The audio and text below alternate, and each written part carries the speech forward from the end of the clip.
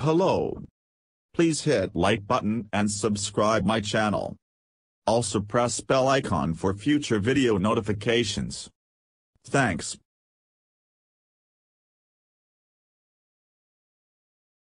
An international team of astronomers has discovered the earliest and most distant galaxies confirmed to date using data from the James Webb Space Telescope, JWST.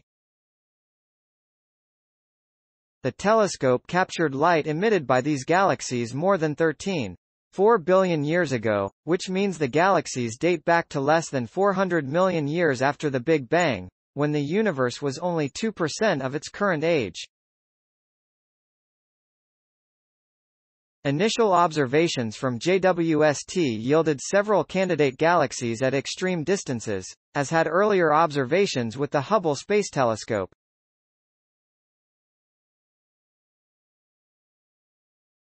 Now, four of these targets have been confirmed by obtaining long spectroscopic observations, which not only provide secure measurements of their distances, but also allow astronomers to characterize the physical properties of the galaxies.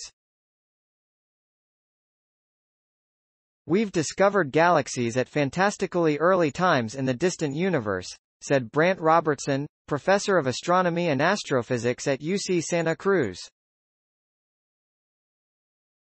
With JWST, for the first time we can now find such distant galaxies and then confirm spectroscopically that they really are that far away. Astronomers measure the distance to a galaxy by determining its redshift. Due to the expansion of the universe, distant objects appear to be receding from us and their light is stretched to longer, redder wavelengths by the Doppler effect.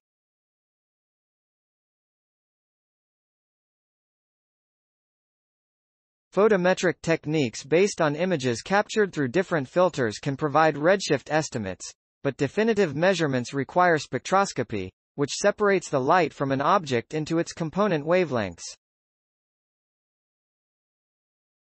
The new findings focus on four galaxies with redshifts higher than 10. Two galaxies initially observed by Hubble now have confirmed redshifts of 10. 38 and 11. 58.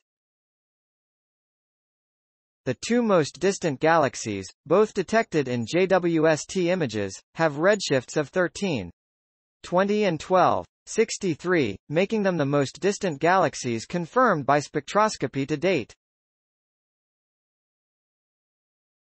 A redshift of 13. 2 corresponds to about 13. 5 billion years ago. These are well beyond what we could have imagined finding before JWST, Robertson said. At redshift 13, the universe is only about 325 million years old. Robertson and Emma Curtis Lake from the University of Hertfordshire, UK, will be presenting the new findings on December 12 at a Space Telescope Science Institute STSCI conference in Baltimore on First Science Results from J. The observations result from a collaboration of scientists who led the development of two of the instruments onboard Webb, the Near-Infrared Camera, NIR-CAM, and the Near-Infrared Spectrograph, NIR-SPEC. The investigation of the faintest and earliest galaxies was the leading motivation in the concepts for these instruments.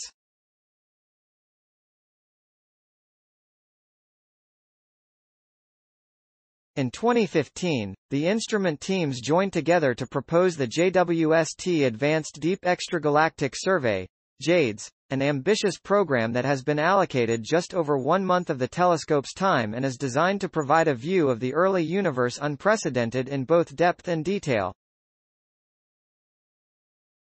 JADES is an international collaboration of more than 80 astronomers from 10 countries.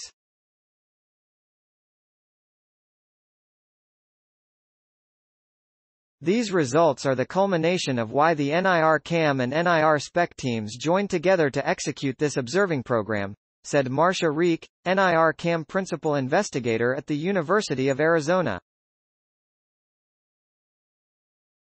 The JADES program began with NIR-CAM, using over 10 days of mission time to observe a small patch of sky in and around the Hubble Ultra Deep Field. Astronomers have been studying this region for over 20 years with nearly all large telescopes.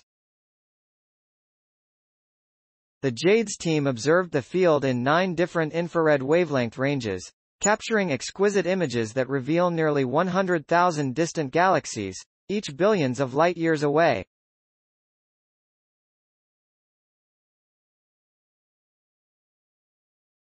The team then used the NIR-SPEC spectrograph for a single three-day observation period to collect the light from 250 faint galaxies. This yielded precise redshift measurements and revealed the properties of the gas and stars in these galaxies. With these measurements, we can know the intrinsic brightness of the galaxies and figure out how many stars they have, Robertson said. Now we can start to really pick apart how galaxies are put together over time. Co-author Sandro Tacchella from the University of Cambridge in the United Kingdom added, It is hard to understand galaxies without understanding the initial periods of their development. Much as with humans, so much of what happens later depends on the impact of these early generations of stars.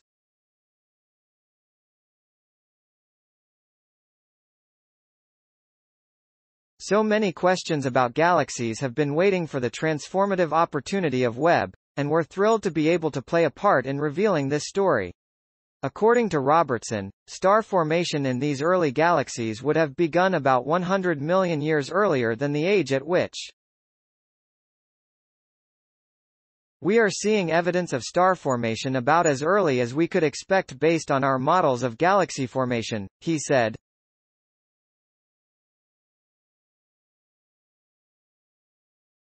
Other teams have identified candidate galaxies at even higher redshifts based on photometric analyses of JWST images, but these have yet to be confirmed by spectroscopy.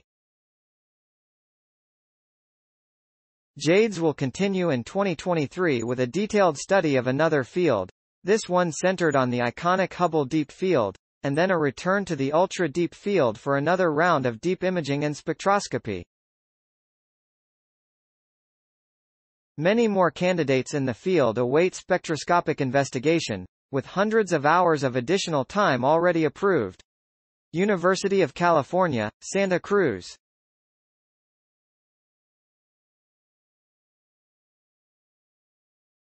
Astronomers report most distant known galaxies, detected and confirmed. Science Daily. Science Daily, the 9th of December 2022. ift.tt slash heightgemk.